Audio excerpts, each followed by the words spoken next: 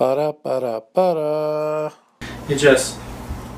One, two. Gained a loop. It's awesome. No!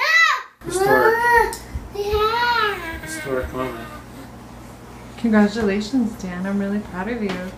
I always knew that the all day breakfast cleanse would make you a skinny man. That's all you ever wanted.